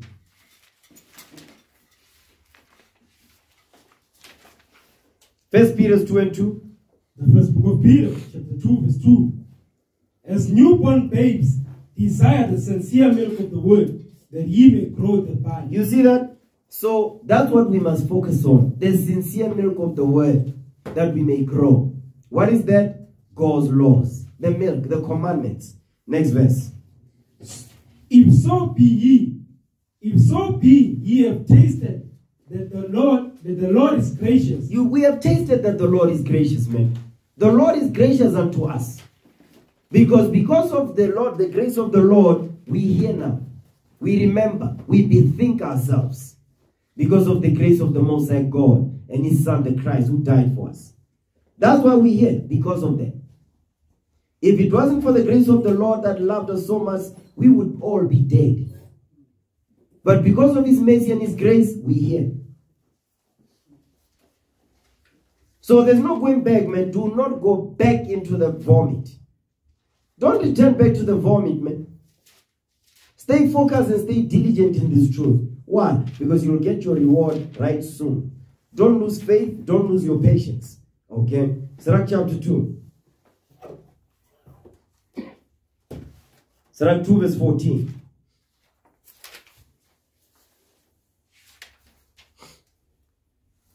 Ecclesiasticus chapter 2, verse 14. Read. Woe unto you that have lost patience. You see that? Woe unto you that have lost patience. Don't lose your patience, man, in this truth. Patience is there to teach you perfection. Patience is there to teach you endurance. The job of patience is so that you may be perfect. Hold this. Um, give me that in. Because the Apostle Paul he spoke about this thing. Um, actually, the Apostle James. The Apostle James, he explained this thing. James, the first chapter. He went over this. Yeah. James chapter 1. Read verse 3 now. The book of James chapter 1, verse 3. Watch this. Knowing this, Actually, start of verse 2. verse 2. My brethren, count it all joy when ye fall into diverse temptations. He says, Count it joyful when you fall into diverse temptations. Meaning, he says, you must, you must have joy. Why? Because the Lord is trying to unearth things in you that must be purged out because you are gold. You are pure gold. It's not that when you come into this truth, you become gold. You gold already. The only thing is the gold needs to be cleansed. The, and for the gold to be cleansed, it must be burned. It must be melted so that you can take all the foreign materials out of it. What's that? That's the sin, the lusts, the envy, the anger, the hatred, whatever it is. That you already the gold. Don't get it twisted. You gold already. You just need to be go through the processing process. Okay, go ahead. Knowing this, that the trying of your faith worketh patience. You see that? So the trials is to teach you patience. That is the job of a trial. To teach you to be patient. To develop in you the spirit of patience and endurance. Read. Let patience have a, have a perfect work, You see that? The, the spirit, because patience is a fruit of the spirit. It is, but let patience have a perfect work. So patience is supposed to bring perfection out of you. Read. that ye may be perfect. That you may be what? That he may be perfect, You see that? Unlike contrary to what the world says, they say nobody's perfect. The Bible says when we go through trials, we go through temptations, and we don't succumb to the temptations, guess what? We enter the process of perfection. Because you're patient enough to endure, you don't run away. Read? that he may be perfect and in time, Meaning you may be whole. Come on. wanting nothing. Lacking nothing. Go ahead. If any of you lack wisdom, If any of you lack wisdom, come on. let him ask of God, Uh-huh. that giveth to all men liberally, Read. and I pray that not, and it shall be given him. You see that? So, but the key is verse 2 and verse 3 and verse, verse 2 to verse 4. That's what Sirach is going over. So, the job of patience, the job of these trials and tribulations, temptations that you deal with on a daily is for you to develop the spirit of patience, which is a fruit of the spirit. So, if you run away from these trials, you're not going to get that fruit of the spirit. That's what the Lord is saying. So he's telling you, you want the fruit of the spirit, for you to get it, you must go through pain first. Because in order for you to get to the to the to the patience part, you have to go through you, you must fall into diverse temptations. Not diverse temptation, no, diverse temptations. Then not only that, but guess what? You must go through trials. Then, when you endure the temptations, you overcome the temptation, you enjoy the trials, then the Lord brings out of you the fruit of the Spirit called patience. So he's letting you know the, the spirit of patience is not going to fall on your lap. You must go through pain to get it. You're not going to be that golden wedge of Ophir if you don't go through that fire so that you can be melted so the gold, the tin, and the silver can go out. It's not going to fall on your lap. So all this is for the your trial, to try your patience, man. Is to teach you to develop the spirit of patience. Patience is the fruit of the spirit. You're not gonna, it's not gonna fall on your lap. That's the point. It's, it's not gonna happen like that. You must work for it. You must go through pain to get it. Then when you get it, the Lord sees, okay, he's not running away. You understand? He's fighting. Give me that in uh, Romans 5. Romans chapter 5 verse 3. Watch this. The book of Romans chapter 5 verse 3. Watch this. And not only so, mm-hmm. but we glory in tribulations also. You see what he's saying? He's writing to the Israelites scattered in Rome. He says, We glory in tribulations. What are tribulations? Trials. That we read in the book of James. Come on. Knowing that tribulation worketh patience. So when you're going through a tribulation, when you're going through a problem, the Lord is teaching you patience, man. It's not to destroy you. He's building you up. He's saying you don't have the spirit of patience. So the way I'm going to do it, I have to send the storm your way. So you fight. I'm teaching you to fight. Because you're not going to grow when things are comfortable. How are you going to grow? If everything is handed to you, everything is running smoothly in your life, you are not going to grow. The thing that you the things that you trust upon, the Lord must take them away from you. So you grow up. So you focus. So you know how to hold on to this book. You must go through trouble so you know where to go to help yourself to come out of it. You must run to the Bible. Right now, you're not going through something deep or heavy, so you don't you think you don't need to run to this book. You don't think so. You don't believe it. Because the Lord has not paid you a visit yet to ruffle your feathers up a little bit. He hasn't done it. So instead of you be doing the rounds and skipping and all that, because sooner or later you're gonna must enter into that ring. Sooner or later you must enter into that ring now. But when you're busy relaxing, you're not exercising, you're not skipping, you're not you're not making sure that your cardiovascular system is strong. So the day when you say it's time, enter into the ring, you faced with the demon is trained up. Few seconds, you are out. He knocked you out. Because you wasn't preparing yourself. Okay? Go ahead. Verse 4. and patience, experience. So patience to gives you will teach you experience in this truth. Patience will give you experience of this Bible.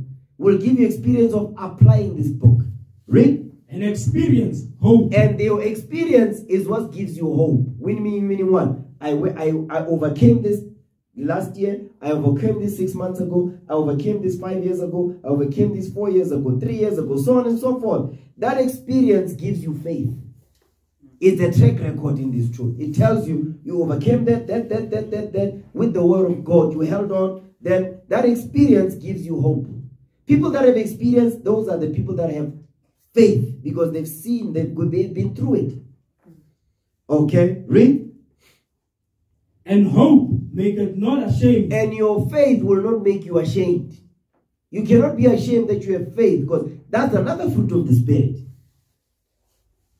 Because you see, patience is gonna what? Is gonna teach you experience. Experience will teach you faith. Will teach you faith.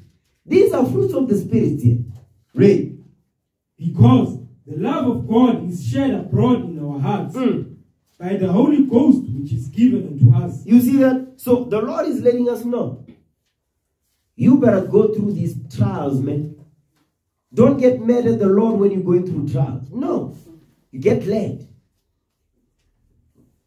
That's why it says, Whatsoever is brought upon thee, take cheerfully. That's the same thing we're reading here. What's the difference? Because the same thing. Whatever the Lord is going to bring upon you, says, take it cheerfully. Because why? That means you don't have the spirit of patience, so the Lord is teaching you. You don't have the spirit of faith. You don't have faith. The Lord is teaching you faith. You understand? Because you might you say like, oh, there's these strange things happening unto me, man. I planned this, this happened. I planned that, that happened. I thought things were gonna turn out this way, they didn't, they turned out this way. Who's doing all this? The Lord is doing all this. Whether you think these are strange things happening unto you, can't you know you you partaking in Christ's suffering? That's what you're doing. Give me First Peter's.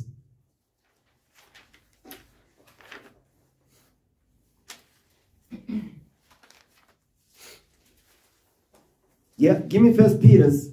Uh, First Peter's four verse twelve. Watch this. The first book of Peter, chapter 4, verse 12. Watch this. Beloved, Mhm. think it not strange concerning the fiery trials which is to try you. You see what he's saying? He says, Don't you think it's a strange thing of these fiery trials that are trying me? Strange things are happening unto me.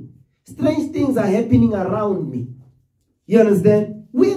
Going on around me. Like, what's going on? The Most is the one that's trying you being tried. And when you think this is a strange thing, no, it's not a strange thing. The Lord is with you. You understand? Read. as though some strange thing happened unto, happened, happened unto you. So you think a strange thing is happening unto you. You understand? I came all this way. I dropped everything. Now I'm here. I thought things will happen this way. They didn't. The Lord had a different plan. What is the Lord doing? He's teaching you patience. That means the Lord is with you. Go ahead. But rejoice. But you, but ma- no, get mad. rejoice. Feel sorry for yourself. Rejoice. Hate other people around. Rejoice. Have the spirit of grumpiness. Rejoice. But rejoice. Take it cheerfully. Read.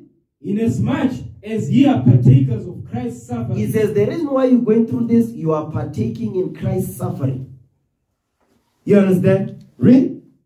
that when his glory shall be revealed, When Christ's glory will be revealed when he returns, read. ye may be glad also with Eh. exceeding joy. You see that? You may be glad also with exceeding joy.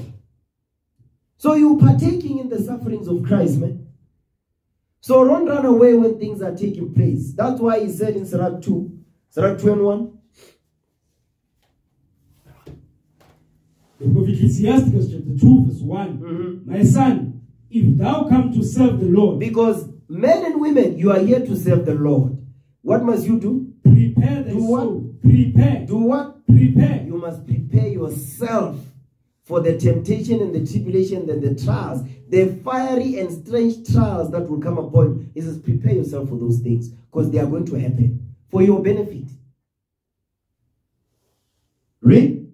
Prepare thy soul for temptation. You must prepare your soul for temptation. Read. Set thy heart aright. Get your mind right. Prep yourself. Examine yourself. When he says, get thy set thy set thy mind thy, thy heart aright, meaning examine yourself. Read. and constantly endure. And what? And constantly endure. Because the temptation in verse 1 is going to teach you the spirit of endurance. That's why it's there. It's going to teach you the spirit of endurance, man. That temptation in verse 1. That is job. The job of the job of temptation is to teach you what? The spirit of endurance, long suffering. Okay, go ahead. and make not haste in time of trouble. Don't run away from the trial because your blessing is in up in there. Your blessing is sitting up in there because right now we're going through it. We went through slavery, we're still going through it. Apartheid and all of that. We poor at the bottom. The nations hate our guts. We're sick. We are out of shape. We are unfit. We have broken families. You understand? All of that. We're going through all that, right? The Lord says, do not run away from this. He says, don't run away. Don't walk away from this truth, he's saying. Come on. Cleave unto him. Cleave. That's where you hold on to the Most High. He says, hold on. Hold the line, he's saying. Read. and depart not away. And don't depart away. Meaning what? Don't go back. He says, many of his disciples went back and walked no more with him. That's why he says what? It says, depart not away. Where? Into the world. Don't go back into the world, he's saying. Come on. Cleave unto him and depart not away. Read. That thou may be increased at thy last end. When the Lord, the glory of the Lord shall be revealed, you also shall rejoice with exceeding joy. That's what the Apostle Peter said. Come on. Whatsoever is brought upon thee, Whatever, whatsoever means whatever is brought upon you, whatever is brought upon your soul. He says you must do what? take cheerfully Take cheerfully, but rejoice. Go ahead. and be patient. And be what? And be patient. You see that the, whole, the from verse 1 all the way down is to teach you patience. A fruit of the spirit. Read. and be patient when thou art changed to a lower state. We are we have we as a nation we have been brought low. We've been changed to a low estate as a nation, man. Right now we are at a law estate. The Lord says, be patient. Don't be impatient. Keep the commandments. Perfect the rehearsal of my laws. I'm giving you the grace period for you to perfect the rehearsal, to rehearse the righteous acts. It says, prepare yourself for temptation. Rehearse my righteous acts before I return. Read. For gold is tried in the fire. Because it's telling you you are the gold already. Because gold is tried in the fire. How is it tried? When you are chained to a low estate. You understand? That's how gold is tried. We be changed into a law is the way the bottom of all nations. Read. An acceptable man in the furnace of adversity. So we are going to be acceptable only if we go through the furnace of adversity. That furnace of adversity is what? The trials, the tribulation. Another thing, another furnace is what? That lake of fire. That's the furnace. It says, guess what? You are going to be purified thereby. So we need this. Don't run away. He says, No, I cannot, I cannot handle it. I'm going back. To hell with you. What are you going back in the world for? For what? What's out there? Nothing, man. You know how many of those that left that are out there because they are following their lust? And we put them out so they can get themselves together. Instead, they say no. They don't want to get themselves together when they are outside. Now is now open season for them to do what? To indulge in their lusts now. You understand? So that is what we're reading. The Lord is teaching us patience, man. Give me that in um, Galatians 5. Then we're going to close it.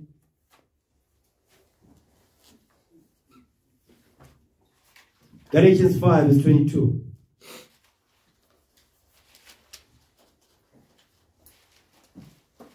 The book of Galatians, chapter 5, verse 22. Read But the fruit of the Spirit is love, the commandments. joy, You remember he said, but rejoice. What that mean? He says, when the trial comes, it says, whatsoever is brought upon thee, take thee cheerfully. What is that? Another fruit of the Spirit. Joy. He says, but rejoice. But be exceeding glad. That's another fruit of the Spirit. It's right there. He says, love, joy, but rejoice. You see that? Read. peace, Peace is going to give you peace, the peaceable fruit of righteousness. Go ahead. Long suffering, Long suffering. That's what it says. Whatsoever is brought upon thee, take thee cheerfully and don't depart. Cleave unto him and depart not away. That's the long suffering. Read. gentleness, Gentleness. You're going to develop the spirit of gentleness, meaning what? Your mind must be what? You must be gentle. Gentle don't mean soft. Gentleness goes into humility. Humble yourself to this Bible. Go ahead. Goodness, the keeping of God's laws. Come on. faith, Faith, hope. The hope we read, he says you, you know, experience hope in Romans chapter 5, verse 3 down. Experience hope. That's what it is. Faith. Read. meekness, Meekness, submission to the laws of God. Go ahead. temperance, Temperance. You hold on. Endurance. That's temperance. Thou therefore endure hardness as a good soldier of Jesus Christ. Come on. against such Against such what we just read, read. there is no law. There's no law against these. That's what the Lord is teaching us, man. Endure. In your patience, possess your soul. How do you possess it? You get these fruits of the Spirit. That's how you possess your soul. Because if you're going through trial, but you lack the spirit of joy, you're not going to enjoy that trial, neither will you overcome it. If you don't have the spirit of faith, you're going through a trial, you're not going to overcome it. Because you have no faith. If you're going through trial, but you don't have the spirit of long suffering, you're not going to endure the pain that you're going to take, you're going to have to go through when you're going through that trial. Because you're going to enjoy it, but for a time, and say, no, it's too much, I'm giving up. So that long suffering spirit, it needs to be there when you're going through a trial.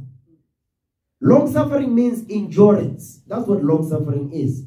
Endurance. That's why it says, endure hardness as a good soldier of Jesus Christ. That's what it means.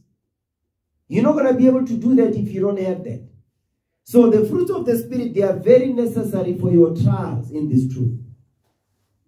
You have, you have to have the spirit of joy because if you don't have joy, but you have the spirit of endurance, you have endurance, but you don't have joy, you're going to struggle. You have joy, but you don't have endurance, you're going to struggle too. So you need both. You need all of them to help you so you may overcome. Understand that? Okay? So you must endure. You must fight.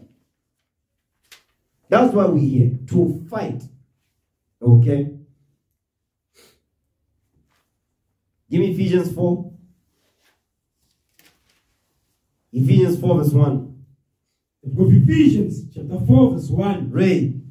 I therefore, the prisoner of the Lord, We are prisoners of the Lord. Come on. beseech you that you walk worthy of the vocation wherewith you are called. You must walk, walk worthy of the call of duty. Walk worthy of your call of duty. We have been calling to duty, Ben. We reporting to duty right now. You understand? Read.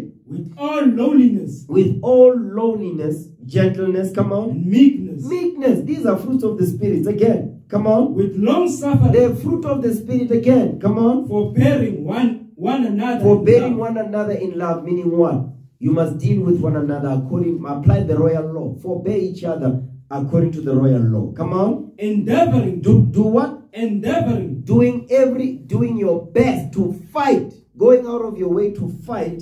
To do what? to keep the unity of the spirit To keep the unity of the Spirit. Come on. in the bond of peace. Another fruit of the Spirit. You're not going to get the fruit of the Spirit if you don't want to have the unity of the Spirit in the bond of peace. If you don't feel like coming down here. If you don't feel like gathering with your brethren, guess what? That means you don't want to endeavor to keep the unity of the Spirit. Therefore, you don't want peace. Therefore, you don't want the fruit of the Spirit then. So he's telling you when you gather yourself together with your brethren, your brothers and sisters, you're going to receive the fruit of the Spirit called peace. But if you don't, you're not going to have peace in your life. You won't have it. The Lord is telling you right there, you are not going to have peace in your life. The Lord will plague your mind. Read. There is one body, There is one body. Come on. one spirit, One spirit, even as ye are called in one hope of your calling. one faith of your calling. Christ, the Messiah, our leader, our King. That's what the Lord is saying we must focus on, man. Coming together because it pleases the Lord when we do it. Whether you, you are in your feelings, you're not pleased. The Lord says, I'm pleased when my sons and daughters gather together. He says, I'm pleased with that. When his sons and daughters don't gather together, he doesn't get pleased with that. So don't despise the days of small beginnings. You must be patient, man. Be patient. Listen and learn so you can grow. Because when that flock comes in, that flock of sheep coming in, you better be ready. They're all going to be looking for a shepherd. So if you don't rehearse right now, you're not going to be able to succeed in what's to come. You have to position yourself to be an asset to your nation. Don't be a liability. Both men and women. It's not just for the men, it's for you sisters as well. Position yourself to be an asset to your nation. Apply the laws of God to your life so that when the, the sisters come in, you're going to be the ones to show them how they're supposed to be by your example alone. By your actions alone, you're going to inspire that sister to come into this truth. By your actions alone, you're going to inspire that brother to come up in here. That's the point. You understand? Okay. So, the topic of the class, because I didn't mention it, the topic of the class is never give up, hold on. We're about to be delivered. Never give up, hold on. Never give up. Hold on. Hold on, never give up. Yeah, that's the topic of tonight's class. Hold on, never give up. Hold on, never give up. Okay, I'm going to end the class right there. All praises to the Lord. Let's give the Lord a hand, man.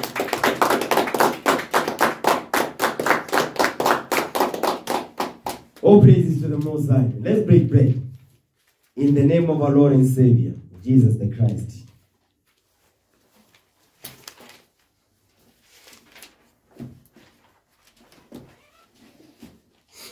For I have received of the Lord that which also I delivered unto you, that the Lord Jesus, the same night in which he was betrayed, took bread. And when he had given thanks, he brake it and said. This is my body, which is broken for you. This do in remembrance of me. After the same manner also, he took the cup when he had supped, saying, This cup is the New Testament in my blood. This do ye as oft as ye drink it in remembrance of me. For as oft as ye eat this bread and drink this cup of the Lord, and drink this cup, ye do show the Lord's death till he come. Wherefore, whosoever shall eat this bread and drink this cup of the Lord unworthily shall be guilty of the body and shall be, be guilty of the body and blood of the Lord. But let a man examine himself, and so let him eat of that bread and drink of that cup. For he that eateth and drinketh unworthily eateth and drinketh damnation to himself, not discerning the Lord's body.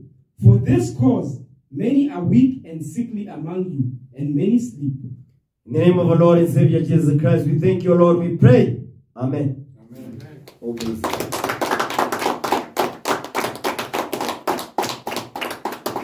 All praises to the most, all praises to the most high God, man. I hope you learned. Hope you receive the edification this day. Okay, all praises.